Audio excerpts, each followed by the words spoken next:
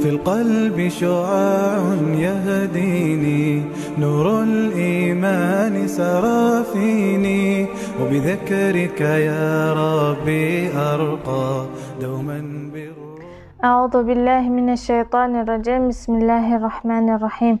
الحمد لله رب العالمين والصلاة والسلام على نبينا محمد صلى الله عليه وسلم وعلى آله وأصحابه أجمعين. رب اشرح لي صدري ويسر لي أمري واحلل عقدة من لساني يفقه قولي أما بعد assalomu alaykum va rahmatullohi va barakatuh bugungi beshinchi darsimizda biz sababkor matni tushuntiramiz sababkor mat ikkita bo'ladi biz sababkor mat o'zi nima sababkor mat e, bizda mat bo'lishga sabab bo'lgan narsa u narsa bizda ikkita Hamza sukun. Ekranda ko'rib turganingiz hamza. Arabchada qanday yozilishi u yozilgan. Sukun sukun ham qandayligi yozilgan va biz e, hamza nimaligini e, ta'rifini yozganmiz. Hamza deganimiz harakasi bo'lgan alifga aytamiz. Sukun deganimiz harakasi bo'lmagan harfga harfga aytamiz. Demakki bu ikkisi bizda nima ekan? Sababkor mad ekan. Qachonki bizda bu sababkor madlar kelmasa u bizda mad tabiiy bo'ladi.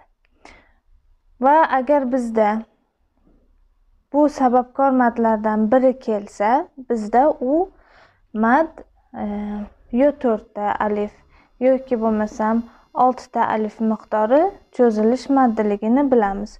Ularni e, bundan keyingi e, mad darslarimiz madlar juda ko'p.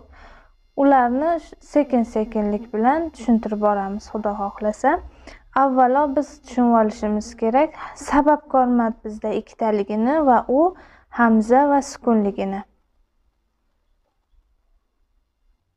Oldingi darslarimizda biz mad harflarini aytdik. Alif vav ya ular sukun bo'lib kelib oldingi harfning harakatiga qarab bizda mad bo'ladi dedik.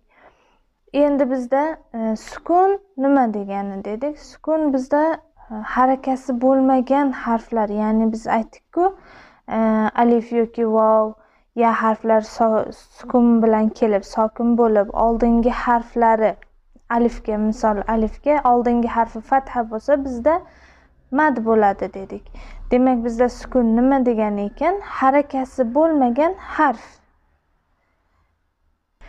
Hamza ham xuddi shunday alifda harakasi bo'lsa biz unga hamza deymiz va a deb o'qiymiz. Endi hozir biz buni tushunib oldik sababkor maddimizni tushunib oldik. U ikkita ekan hamza va sukun. Endi hozir biz boshqa madni olamiz va e, bu sababkor mad ishtirok qilgan madlarni boshlaymiz xudo endi bu yerda mad muttasilni tushuntiramiz. Mad muttasilni tushunib olishimiz uchun bizda ikkita eng muhim narsa bor. Agar biz u ikkita narsani tushunib olsak va uni yodlasak biz mad muttasilni tushundik hisob bo'ladi. Ekranda ko'rib turganingiz mad muttasilni ta'rifi uni yozib olamiz. Misoli ham yozilgan.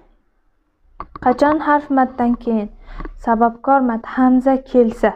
Bu birinchi sharti. Demak nima ekan? Qachon mad harfidan keyin alif vav ya mad harflaridan keyin hamza kelsa hamza e, hamza kelsa bu birinchisi. Ikkinchisini bizda nima ekan? Ikkisi bir kalimada kelsa mad muttasil bo'lar ekan. Demak birinchisi bizda. Mad harfidan keyin bizda sababkor maddan hamza kelsa va ikkalasi bitta kalimada kelsa mad muttasil bo'ladi. Misolida misolida ko'rib turganingizdek jaa bizda jaada bizda nima keldi? Alif mad harfi keldi. Va biz endi bu mad harfdan keyingi harfga qaraymiz. Bizda agar bu yoqda sababkor mad bo'lsa demak bu bizda maddi muttasil bo'lar ekan va bu ikkalasi bitta kalimada kelgan. Jaa bitta kalima. Demak bu bizda maddi muttasil bo'lar ekan bizda mad muttasil bo'lishi uchun sababkor maddan hamza keldi. Qachon keldi? Mad harfidan keyin bizda keldi. Demak bu bizda nima bo'lar ekan? Bizda bu mad muttasil bo'lar ekan. Va uning e, bu belgi bizda matni ko'proq tortish buni miqdori to'rtta beshta oltita bo'lishi mumkin. Oltitalik mat u boshqa mat. Inshaalloh uni keyingi darslarda tushuntiramiz. Jaa ida jaa.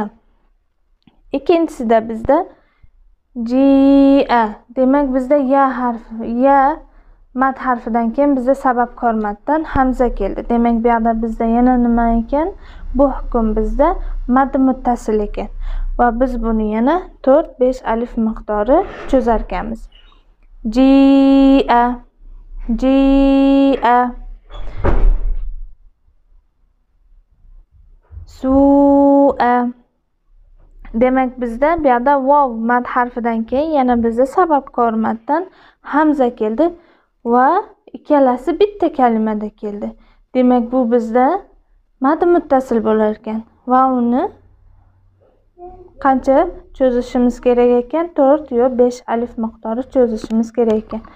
Demak bu yoqda bu ko'rib turganingiz sua jia iza jaa bularni hammasi bizda mad muttasilga misol biz tushunib oldik eng muhim narsalar bizda nima ekan?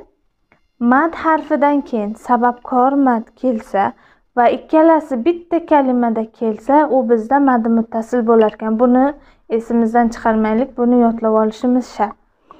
Endi maddi muttasilning maddi vojibdir. Muttafaqun alayh bo'lgani uchun. Ya'ni osim qiroati hafs rivoyati bo'yicha to'rt besh alif miqdori cho'ziladi. Barcha qurrolarimiz e, ittifoq qilgan. Bu maddi muttasilning maddi. Bizda qancha bo'larkan bizni e, osim qiroati hafs rivoyati bo'yicha to'rt besh alif miqdori ekan. Bizda eng muhim narsa mad muttasilda sababkor maddan. Hamza kelishi mad harfidan keyin ikkinchisi ikkalasi bitta kalimada kelishligi. Bu tushunib olsak va buni yodlasak bular juda oson. Misollarda ham tushuntirganimizdek bitta kalimada kelgan va bizda mad ko'proq tortiladi. Buni tushunib olgan bo'lsak bizda bugungi darsimiz shu. Alloh barchamizdan rozi bo'lsin. Darslarni yozib olish va uni yodlash qaytalash o'zinglarga judayam asqotadi qur'onni xatosiz o'qishligimizda va hukmlari bilan o'qishligimizda bizga katta yordam beradi. Alloh barchamizni e, bu yo'lda sobit qilsin. Inshaalloh hammanglarga e, salom duolarlar. Bugungi darsimiz inshaalloh bitdi. Keyingi darsimiz maddi munfasilni olamiz allohga omonat bo'linglar. Assalomu alaykum va rahmatullohi va barakatuh